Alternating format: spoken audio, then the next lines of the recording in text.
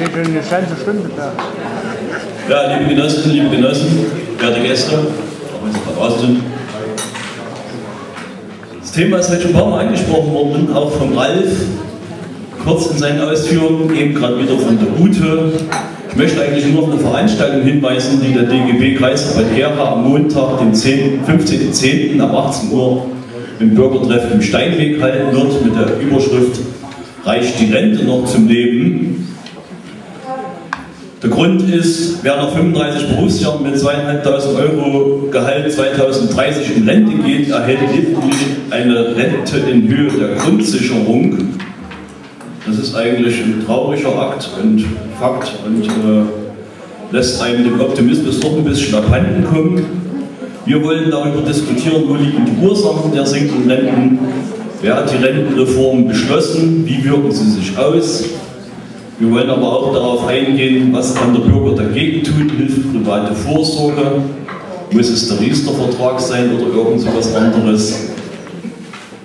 Und wir wollen natürlich auch auf politische Alternativen hinweisen, nämlich wie es auch in unseren Papieren zu finden ist. Unter anderem die Forderung Rücknahme dieser unsäglichen Rentenkürzungsfaktoren wie Riester-Faktor, Nachhaltigkeitsfaktor etc. Ich will da jetzt nicht im Detail drauf eingehen, aber wenn man sich mit der Materie befasst, da kann einem schon zum Heulen werden. Ich möchte es an einem kleinen Beispiel festmachen. Unter anderem wird ja die Rente ausgezahlt nach dem geschätzten Lebensalter, also so alt wie wir im Durchschnitt alle werden. Das wirkt sich äh, auch auf die Rentenbeträge aus.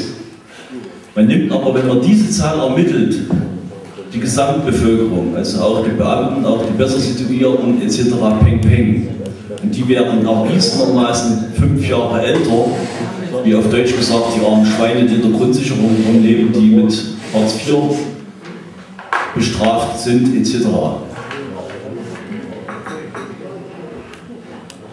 Da hat man einen schönen Trick, wie man nämlich die Rente kürzen kann. Es gibt noch weitere fiese Tricks. Und äh, wie bösartig diese Rentenkürzungen sind, kann man ja auch in den letzten Jahren an den Rentenanpassungen mitbekommen. Also es waren Nullrunden dabei. Man müsste zum Beispiel den Nachhaltigkeitsfaktor schon zweimal aussetzen, weil es sonst hätte Rentenkürzungen geben müssen. Und das alles beschließt eine Bundesregierung oder hat beschlossen.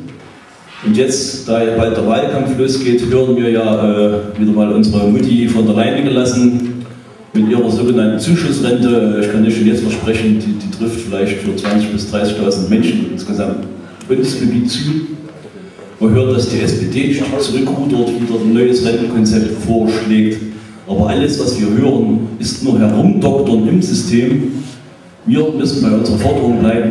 Rücknahme der Rentenkürzungsfaktoren und das möglichst schnell. Die Rente muss zum Leben reichen, genauso wie es einen Mindestlohn geben muss. Genauso wie es ein Grundeinkommen geben sollte, beziehungsweise eine Grundsicherung in soziokultureller Höhe und nicht dieses abscheuliche Hartz-IV-Gesetz. Damit werden wir uns allerdings auch weiter befassen, weil was aus dem Hartz-IV-Gesetzgebung auf jeden Fall raus muss, weil es trifft auch sämtliche Arbeitnehmer. Das ist nämlich, äh, ich sag mal, der Missbrauch des Gesetzes in Form von Sanktionen.